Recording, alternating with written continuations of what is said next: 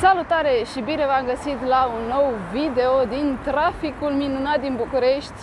A început școala de vreo 3 săptămâni, dacă nu mă înșel, și bineînțeles traficul s-a blocat de tot. Nu mai ai loc efectiv nici măcar cu bicicleta. Aici am noroc că am loc pe unde să merg. Dar da, am ieșit și eu în trafic cu bicicleta și Hai să vorbim astăzi despre ce am mai făcut. În cazul în care nu ați văzut deja, am participat la Cupa Națională de Downhill, etapa de la Azuga, uh, bineînțeles la categoria de Open feminin. Mi-era foarte dor de un concurs de downhill, pentru că practic asta a fost al doilea concurs de downhill. Primul a fost la Tare Capiatra, la Piatra Neamț, unde a fost o experiență foarte faină, dar a fost un traseu greu pentru mine atunci a fost acum 2 ani, nu mai știu dacă am spus, spus asta sau nu. Eu uite, nu mai e nimeni pe, nu mai e nimeni pe stradă. Ce s-a întâmplat? Unde sunt toate mașinile? În fine, Ideea e că dacă nu ați văzut clipul, puteți să-l vedeți la mine pe canal. Cumva am reușit să iau locul 1, nu m-aș fi așteptat, pentru că nu pot să zic că am mers extraordinar de bine.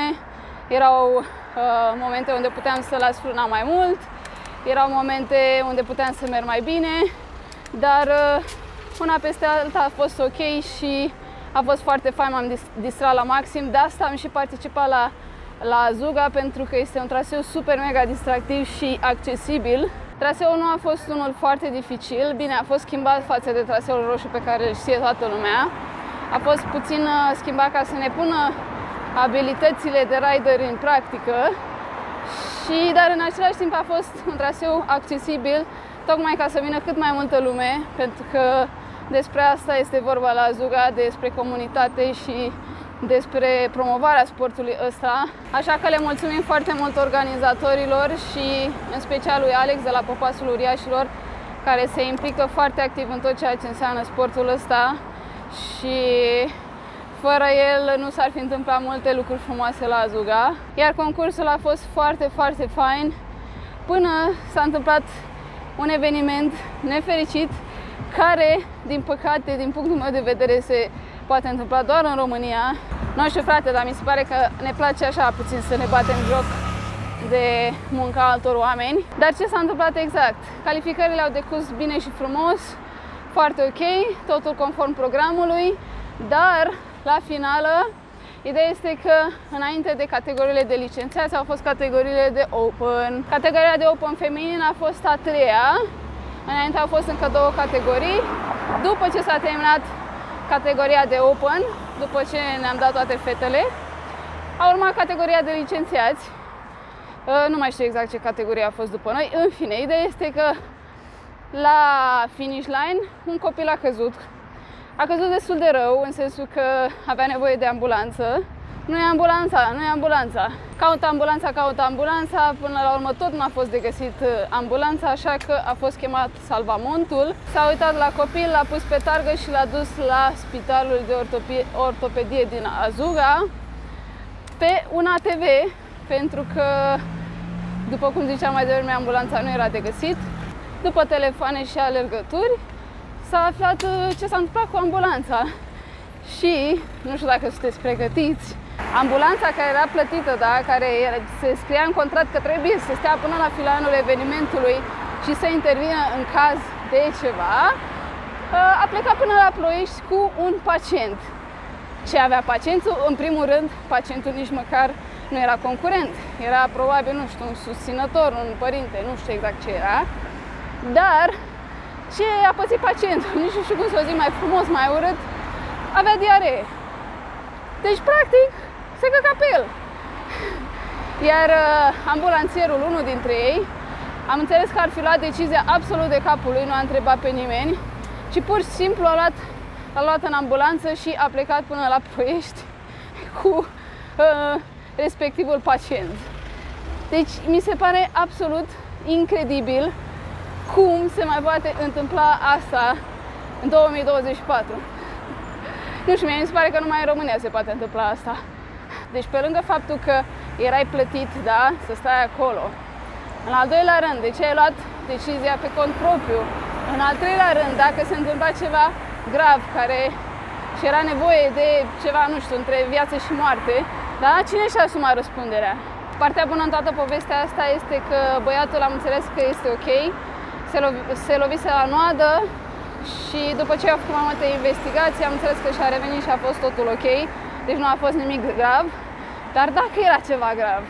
Ulterior s-a luat decizia, bineînțeles, să se anuleze finala, pentru că nu se putea continua concursul fără o ambulanță la fața locului uh, și s-a luat în uh, calcul doar timpii din calificări pentru categoriile care nu apucaseră să, să coboare în finală.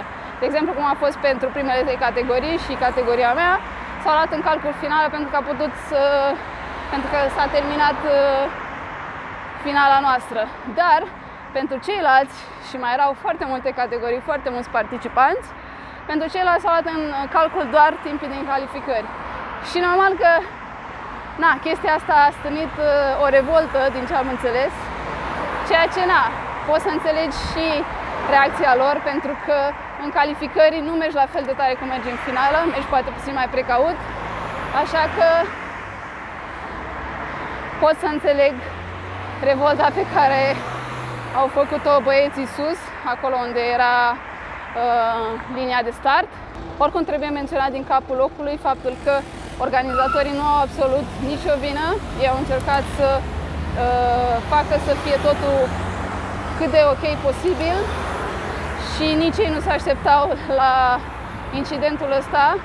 Bineînțeles că după vreo două ore, cred, s-a întors și ambulanța, ambulanțierul, și a fost uh, luat la trei păzește de tot. Adică ne mai mirăm de ce nimeni nu mai vrea să se implice în proiecte și să facă ceva frumos. Pentru că, uite, încerci să faci ceva frumos și dai de oameni de genul. Adică, da, cam asta e realitatea, din păcate. Dar în altă ordine de idei, de fapt cumva în aceeași ordine de idei, dar diferită, pentru că tot de concursuri vorbim, Ați văzut documentul de la UCI cu noile reguli pentru sezonul competițional 2025? Uh, dacă nu l-ați văzut bine, uh, din ce am citit, documentul nici trebuia să iasă la, uh, la lumină, dar bineînțeles că internauții au sărit ca șacalii pe, pe el și a apărut pe mai multe site-uri de specialitate. Documentul este destul de lung, dar ce am citit și eu așa rapid, am văzut că Urmează să nu mai existe 5 oameni pe podium, o să fie doar uh, clasicele 3 locuri.